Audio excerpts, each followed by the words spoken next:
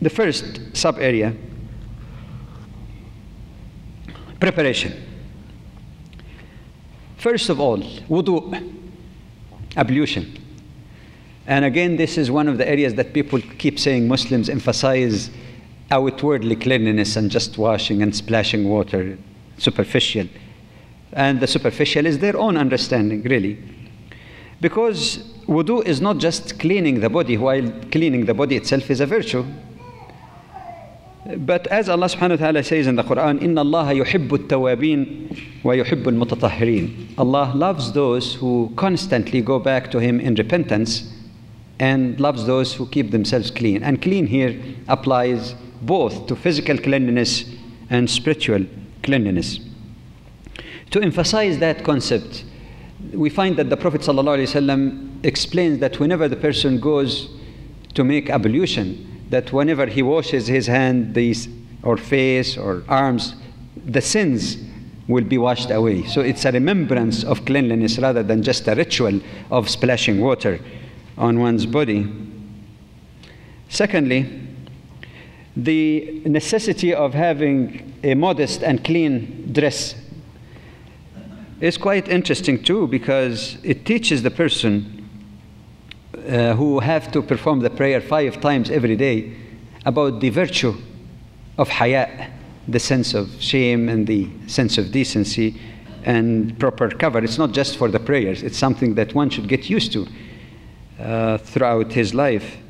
And that's why my suggestion to many of my respected sisters that I have noted uh, in many Islamic centers that whenever azan is made, the dubatta or the cover comes over the head.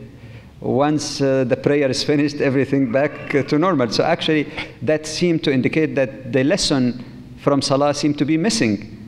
So if we have the, that sense of decency before Allah subhanahu wa ta'ala, we should have it also before other people. So it's a sort of training to get us used to that virtue that seems to be sorely missing uh, these days. And then you have the uh, modesty or the cleanliness uh, of the place. But here again, we find the emphasis in the Quran uh, and Sunnah on essence rather than appearance. Because cleanliness of place does not mean uh, an expensive uh, silk Persian carpet that costs a few thousand. I, I'll give you the reason why I'm saying that. It simply means clean, emphasis on cleanliness, not just trappings of life. That's why a, a, clean place for the prayer in Islam is defined as any place. It could be sand, it could be earth even, but clean. There is no uh, you know, impurity on it. The Prophet ﷺ and his Sahaba were praying in a masjid where they were praying on pebbles, hasa. And still it was clean.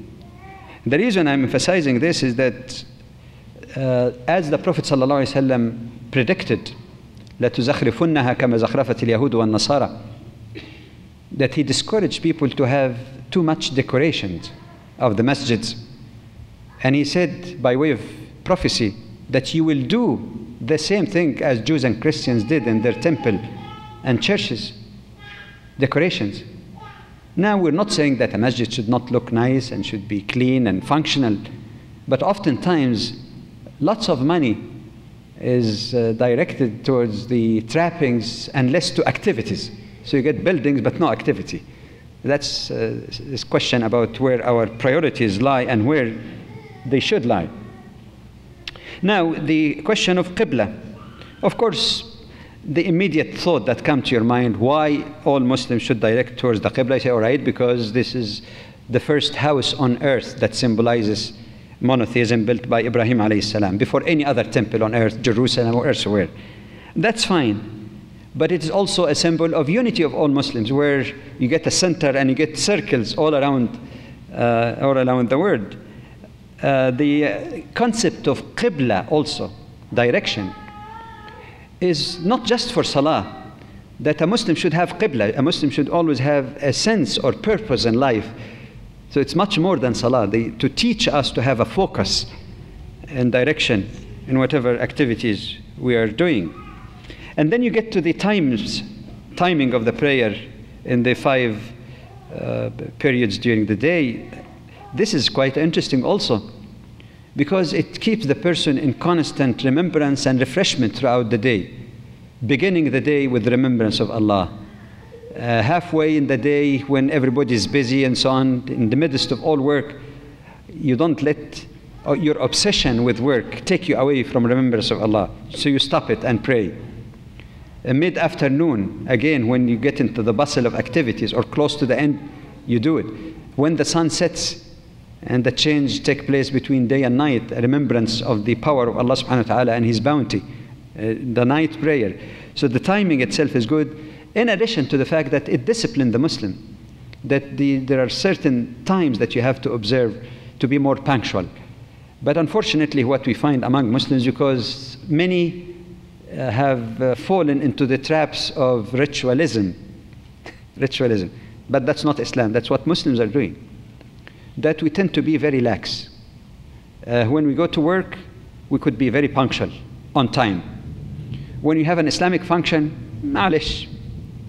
And that's why, like, uh, one brother was telling me that it looks like uh, many Muslims, unlike the teaching of Islam, they run their uh, affairs according to the IBM. I for inshallah, Allah God willing, B for bukra, tomorrow, come tomorrow, and M for ma'alish, it's okay. IBM, inshallah, bukra, ma'alish. But that's not the teaching of Islam.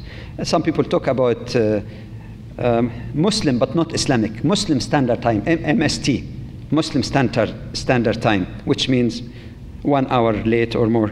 But that's not Islamic Standard Time, which I, actually, if we really comprehend the essence of Salah, not the ritual of it, we wouldn't behave like that. It would train us to improve on our uh, actions. And that's why also the Prophet ﷺ likens the prayers to someone who has a rivulet running by his four steps and he goes five times every day to wash, that there will be no dirt, no uncleanness. So, as it applies to the physical body, it should apply also to our own thinking, behavior, and actions.